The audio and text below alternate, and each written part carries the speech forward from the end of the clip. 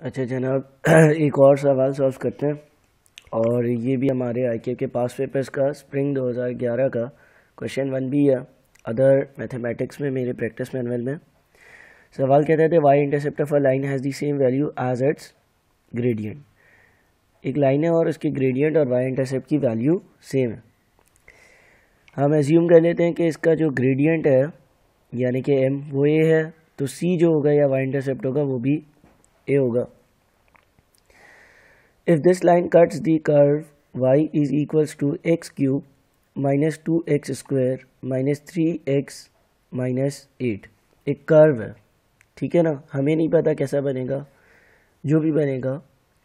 लेकिन ये लाइन जो है, वो इस कर्व को कट करती है।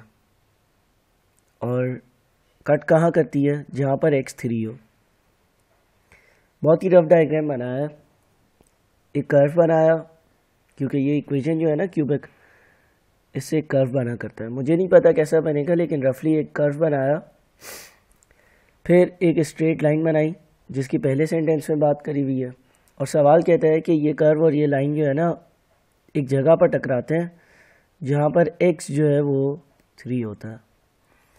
Find the equation of the line इस लाइन की इक्वेशन ढूंढनी है, जिस लाइन की इसने पहले सेंटेंस में बात करी है।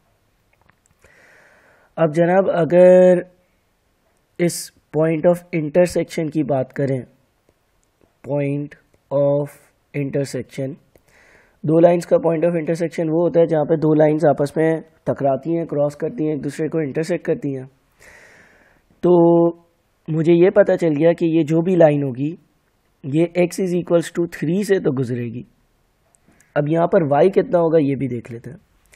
वो देखने के लिए मुझे जो कर्व की इक्वेशन दी हुई है, उसमें मैं एक्स की वैल्यू पुट इन करता हूँ। थ्री का cube minus two into three का square minus three into three minus eight और इसको ज़रा सॉल्व करता हूँ। तो सॉल्व कर कर जो आंसर आ रहा है थ्री का क्यूब जो है, वो बनता है twenty seven minus two into three into three nine आया, फिर थ्री इंटू थ्री माइनस किया और फिर जो है हमने एट माइनस किया। तो आंसर जो है वो माइनस एट आ रहा है। अगर हम इस पूरे को सॉल्व करेंगे तो सॉल्व कर कर जो हमारा आंसर आएगा, वो माइनस एट आएगा। यानी कि इस कर्व पर जहाँ एक्स थ्री है, वहाँ वाई माइनस एट है। और इस कर्व पर एक्स उस जगह थ्री है जहाँ पर ये लाइन और कर्व एक दूसरे को कट कर रहे हैं। तो इसका मतलब ये हो गया कि ये line three comma minus eight से गुजरती हुई जाती है। अब हम देख लेते हैं एक लाइन का जनरल इक्वेशन। एक लाइन का जो जनरल इक्वेशन होता है, वो है y is equals to m x plus c फिर हमें ये पता है कि इसका एम और सी दोनों ए के बराबर है। फिर हमें ये पता है कि ये लाइन एक जगह से गुजरती है जहाँ पर एक्स थ्री है। और वाई माइनस एट है। इसको अगर सॉल्व करें तो minus eight is equals to four है। ए जो है वो माइनस टू के बराबर है।